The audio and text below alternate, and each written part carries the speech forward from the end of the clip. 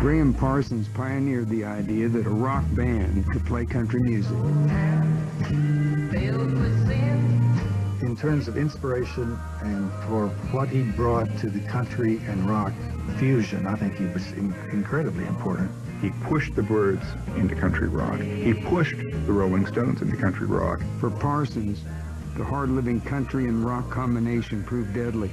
Tragically, he died in September of 1973 after a heroin and tequila binge. Lynyrd Skynyrd took country rock, added a big dose of blues, and turned the volume to 11. The stories and the experiences that they've had on the road and the things that they've been through. They were road tough. They were outlaws, they were bad, and they were cool.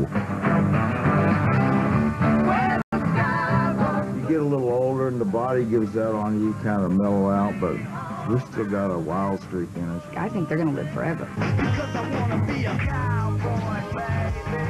Kid Rock's music is a genre-blurring combination of rap, metal, southern rock, and country, topped off with plenty of badass attitude. Kid Rock has a true freedom of sound.